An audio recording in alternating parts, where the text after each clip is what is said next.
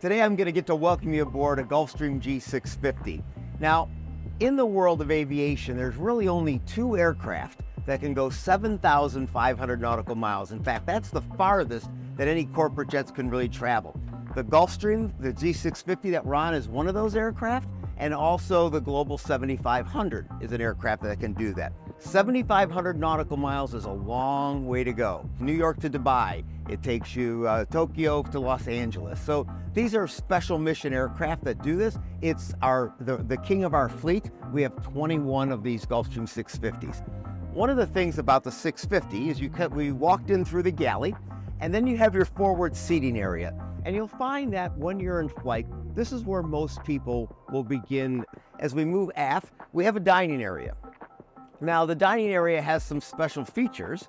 One of the special features of the dining area, of course, we normally use it in flight to set out our, our catering. We set out special drinks. You notice today they have some champagne and some cupcakes, but we also have these hidden seats. This is called the kibitzer. And the kibitzer seats uh, come out, there's two of them. The dining table gets larger and you can easily then sit six people in a dining configuration.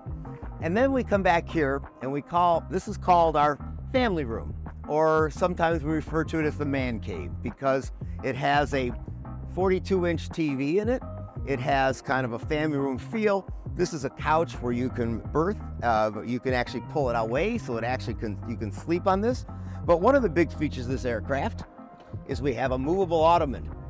So it can set up, you can put snacks on there, and it sets up very much like a large family room.